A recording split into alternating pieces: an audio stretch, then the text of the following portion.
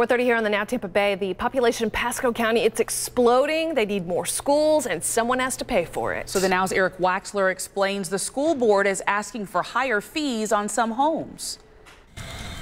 New home construction is booming along the 54 corridor in Pasco County. Home sales are really taken off. Um, they have not slowed down.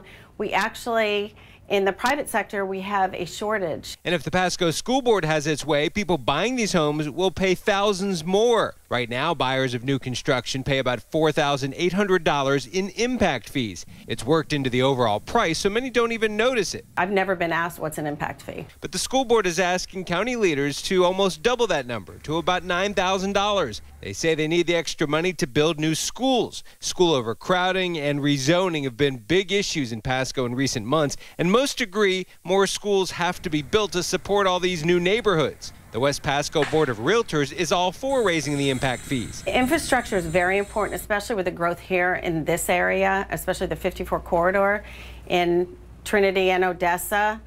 Um, all the way down to Wesley Chapel and Land Lakes. Um, we're in need of more schools. Builders have concerns that adding more fees will discourage buyers, especially coupled with higher interest rates. But realtors say these days more people are worried about where their kid will go to school than how much the impact fees are. A committee made up of builders and parents is holding meetings this month. They'll make a recommendation to the county commission.